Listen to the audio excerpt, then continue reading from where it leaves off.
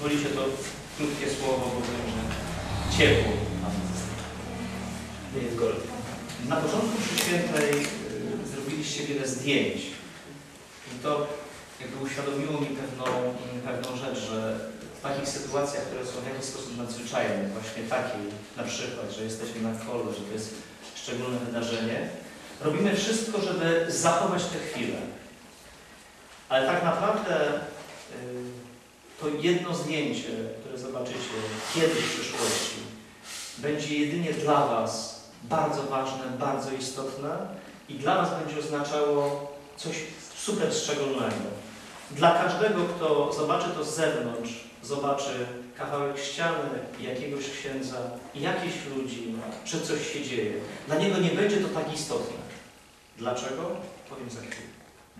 Szybko, już to Wam mówiłem chyba, i kiedy wszedłem do jego pokoju, zobaczyłem bardzo dużo różnych rzeczy, które dla niego były super cenne. Wiedziałem, że ten złoty łańcuszek jest od mamy, to wiedzieliśmy, że trzeba coś z tym zrobić szczególnego. Ale reszta wyglądała na takie śmieci. One były bardzo ważne. Kiedy? Wtedy, kiedy on swoją osobą, bogactwem swojej osoby nadawał im znaczenie.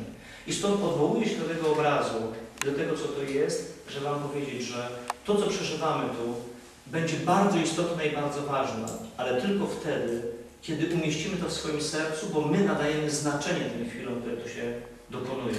To my w życie pójdziemy z tym doświadczeniem. To one, mieszkające w nas, tak jak Bóg nas mieszka, mogą w jakikolwiek sposób działać w przyszłości w życiu. Samo to wydarzenie, sama ta data, same te plakaty, samo to, co tu jest, nie jest magią, że cokolwiek zmieni w życiu.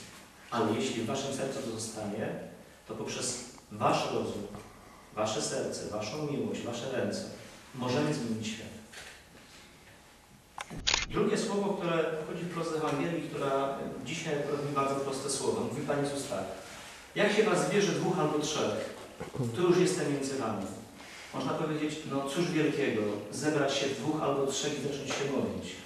Cóż wielkiego, co, co trzeba jakiego wysiłku, żeby nagle znalazło się tych dwóch, trzech ludzi do tego, żeby cokolwiek się wydarzyło. Chcę Wam powiedzieć o bardzo istotnej rzeczy, y, o ważności małych rzeczy. Z Antonią żeśmy pewnie wspominali nieraz już dochodząc, że w 1992 roku, kiedy ja byłem początkującym teologiem, a on wtedy przygotowywał ekipę z całej Polski na tą fronto i mówiliśmy, jak to było, gdzie były spotkania. Ja nie przypuszczałem wtedy jako że kiedykolwiek jeszcze tu przyjadę.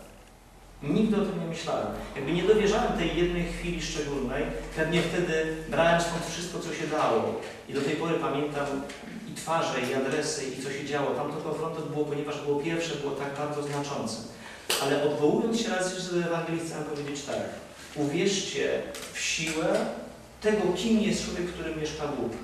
W drobne rzeczy, które naprawdę potrafią przemienić świat. To nie są takie gadania. Ja rozumiem, że my potrafimy mówić rzeczy, które nie są sprawdzalne. Bo kiedy ktoś mówi, dam Ci jabłko, to mówi, gdzie go masz? A dwa razy dwa, to jest cztery. Wierzymy od razu w to, co widzimy. Kiedy ja mówię, bądź dobry, będziesz zbawiony, nie mam jak tego udowodnić. Mogę odwoływać się do poprzednich wieków, do, do innych ludzi. I wiem, że łatwo mi jest mówić słowa na wyrost, ale nie oszukuję Was. Uwierzcie w słowa Ewangelii. Wystarczy dwóch albo trzech, żeby Chrystus był między Wami. Wystarczy mieć serce księdza Bosko, który wierzył, że potrafi zmienić świat, żeby to się stało. Popatrzcie na tą biedniutką okolicę, na zwykłą przysiłek, nawet nie wioseczkę, na końcu świata, gdzie nic nie było. Domek, który był nic nie warty. Nie było nic tu cennego i ważnego. Tu urodziło się serce, które mówi uratuje, uratuje tych wszystkich młodych. Miał taką moc, miał taki pomysł. I ostatnie słowo mówiliśmy dzisiaj, skoro o rodzinie, stąd chcę przywołać Matusia Małgorzata. Zapewne pamiętacie pierwszy sen księdza Boska Bogom przypominany do nieskończoności. Ale posłuchajcie tego dialogu, który dokonuje się, jak on opowiada o tym śnie. Kiedy ktoś mówi, będziesz herfem z bójów, ktoś mówi, będziesz pastuchem. Matusia Małgorzata mówi, może będziesz księdzem. Logicznie z tego snu nie wynika, że będzie księdzem. No bo niby czemu miałby tak wynikać? Dlaczego tak powiedziała? Skąd się to bierze w człowieku, że nagle takie rzeczy widzi? Bierze się z tego, co nazywałem modlitwą. Bierze się z tego, że jeśli przybywamy z Panem Bogiem, autentycznie rozmawiamy z Nim, czasami trudniej, czasami łatwiej, czasami o smutnych rzeczach, czasami o radosnych, to on pozwala nam inaczej postrzegać rzeczywistość. Dla człowieka, który nigdy nie słyszał o księdzu Bosko, przyjeżdża tutaj, zobaczy wielki instytut, duży kościół, trochę rozbieganych ludzi i kropka. Dla nas jest to serce yy, duchowości salezjańskiej, bo widzimy inaczej, bo wiemy inaczej. Uwierzcie w to, że jeśli wasze serce będzie blisko Pana Boga, będziecie postrzegać tę rzeczywistość inaczej. Nie powie wam on, być może tak jak ksiądz Bosko, przez sen cokolwiek. Powie nam przez nasz rozum, przez naszych przyjaciół, przez naszą rodzinę, przez naszych wychowawców, przez naszych kumpli. Powie nam coś, ale to my jesteśmy tymi, którzy jesteśmy z Bogiem i potrafimy to zinterpretować tak, żeby usłyszeć to i zobaczyć w kategoriach wierzy. To jest ta codzienność, o której mówimy w duchowości salezjańskiej, że widzimy ten świat i postrzegamy go zawsze tak, jakby Bóg przez nasze oczy patrzył. Codzienność duchowości salezjańskiej. Widzieć to wszystko tak, jakby Bóg to oglądał. Nie